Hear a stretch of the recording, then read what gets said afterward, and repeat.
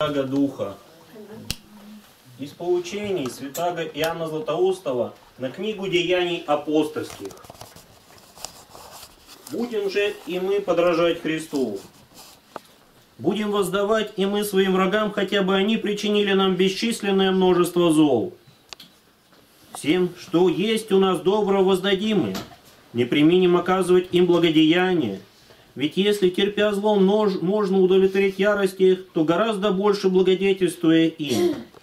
Первое меньше последнего, потому что не все равно благодетельствовать врагу и пожелать или быть готову претерпеть от него большее зло. От последнего перейдем и к первому, что и составляет преимущество учеников крестовых. Они, иудеи, распяли его, пришедшего благотворить им – подвергли бичеванию учеников его, и после всего этого он удостаивает их такой же чести, как и учеников своих, сообщая тем свои блага наравне с этим. Будем, увещевая вас, подражать Христу, в этом должно подражать Ему. Это дело человека равным Богу, это есть дело выше человеческое. Возлюбим милосердие, оно есть руководитель и учитель любомудрия. Тот, кто научился быть милосердным к несчастному, научится и не злопамятствовать. А научившись этому состоянию, будет и благодетельствовать врагам. Научимся сострадать несчастьям ближних, тогда научимся переносить от них и зло.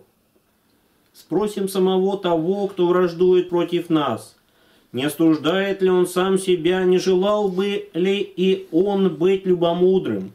Не скажет ли он, что все это происходит от гнева, от малодушия или от досады? Не хотел ли он бы и он быть лучше в числе оскорбляемых и молчаливо переносящих обиды, нежели в числе оскорбляющих и неистующих? Не с удивлением ли и он отходит под переносящего обиды терпеливо? Не подумай, будто это делает людей презренными – Ничто так не делает презренными, как нанесение обид.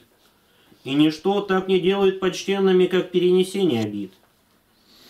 Первый, причиняющий обиды, есть злодей, а последний, переносящий обиды, есть человек любомудрый. Тот ниже человека, а этот равен ангелам. Хотя бы оскорбляемый был и меньше оскорбителя, однако и он, если бы захотел, мог бы мстить. А как он не делает этого – то все и сострадают ему, а от того ненавидят. Что ж, не гораздо ли поэтому он лучше первого? На того все будут смотреть как на безумного, а на него как на благоразумного. Поэтому если кто станет побуждать тебя судить кого-нибудь, скажи ему, я не могу сказать что-нибудь худое про него, боюсь, что он, быть может, не таков. Никогда не говори худого о другом, даже и в уме, тем более пред другими. Не ропщи на него и перед Богом. Если узнаю, что об нем отзываются худо, защити его. Скажи, это слова страсти, а не человека, гнева, а не друга, иступления, а не души. Так будем рассуждать при всяком прегрешении.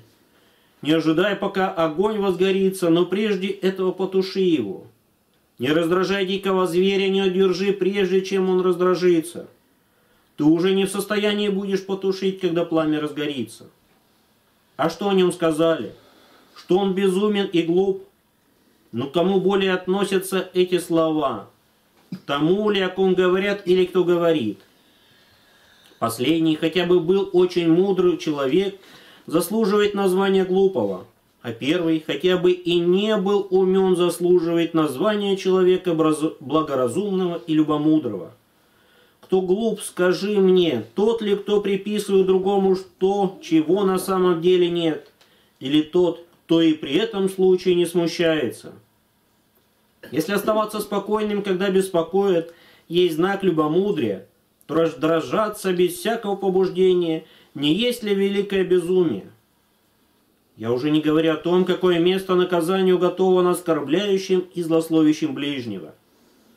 Но еще что сказали о нем, что он бесчестный из бесчестных, низкий из низких. Опять говорящий это обращает поношение на себя самого. Тот окажется честным и почтенным, а этот поистине низким. поставлять укоризну такие вещи, то есть незнатность происхождения, подлинно свойство души низкой. А тот будет великим и достойным удивления, если он нисколько не думает об этом, но остается в таком положении, как будто бы о нем говорили, что он имеет нечто превосходное пред прочими. Скажут ли, что он прелюбодей и тому подобное? В таком случае можно и посмеяться. Когда совесть не укоряет, тогда не может быть места гневу. Поняв, какие дурные и отвратительные произносят выражения, не следует скорбеть от этого, потому что произносящий их уже открыл то, о чем всякий мог бы узнать впоследствии времени, а через то сделал себя для всех уже не заслуживающим доверия, как человек, не умеющий скрывать недостатков ближнего, и таким образом постыдил более себя самого, нежели другого, заградил для себя всякую пристань и подверг себя страшной ответственности на будущем суде все будут отвращаться не столько от того, сколько его самого, как обнаружившего то, чего не следовало бы открывать. И ты не все говоришь, что знаешь, но бы мному молчи, если хочешь снискать добрую славу. Через это ты не только опровергнешь сказанное другими и прикроешь недостатки ближнего, но сделаешь и другое доброе дело. Не попустишь произносить суд против себя самого о тебе худо отзывается кто-нибудь. А ты скажи, если бы он знал все, то и не это только сказал бы обо мне. Вы изумляетесь и удивляетесь сказанному. Но так должно поступать. Все сказанное вам мы заимствуем от мне не потому, чтобы в Писаниях не было бесчисленных на то доказательств, но потому, что это скорее может пристыдить вас. И Писание иногда имеет целью пристудить, как, например, когда говорит «И язычники такое творят». Пророк Иеремия привел пример сыновей Раха, Рехава, которые не согласились нарушить заповеди отца своего. Иеремия 35 глава.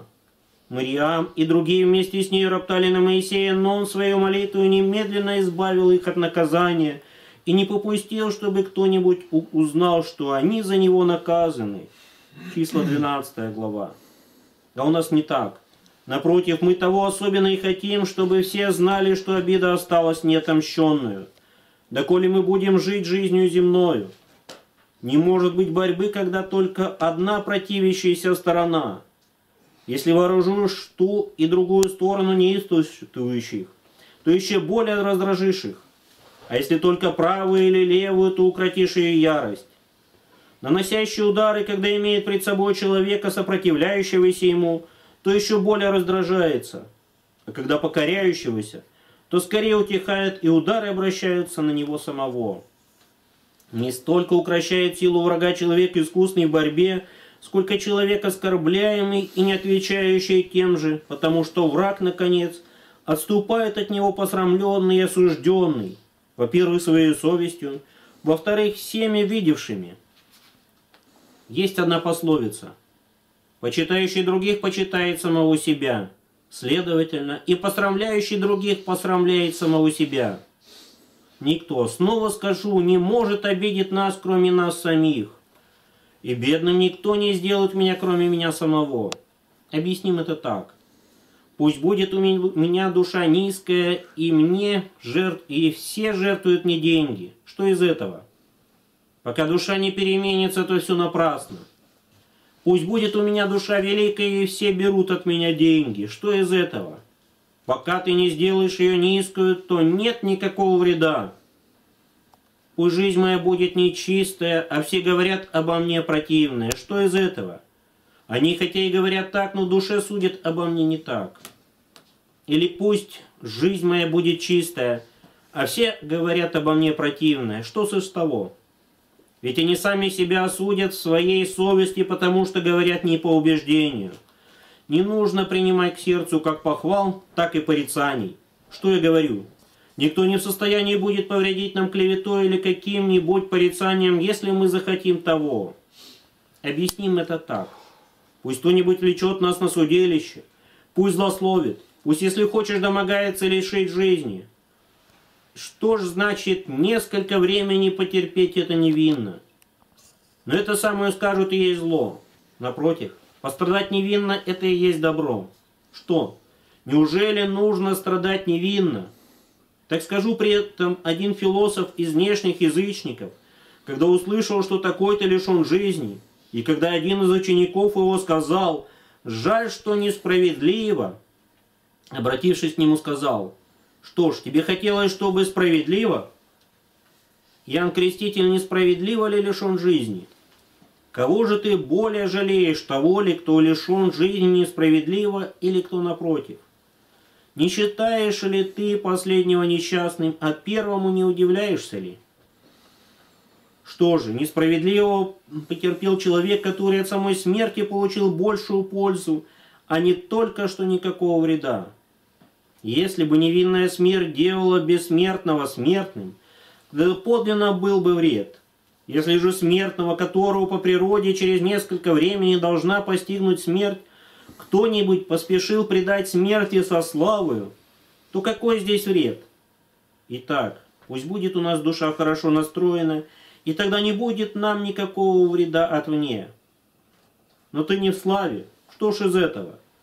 Что мы сказали о богатстве, то же и о славе. Если я велик, то ни в чем не буду нуждаться. А если тщеславен, то чем больше буду приобретать, тем большего буду желать. Тогда-то в особенности я и буду знатен и достигну большей славы, когда буду презирать славу. Итак, познав это, возблагодарим Христа Бога нашего, даровавший нам такую жизнь, и будем проводить ее во славу Его, так как Ему подобает слава с обесчисленным, с обезначальным Отцом и Святым Его Духом во веки веков. Аминь. Аминь.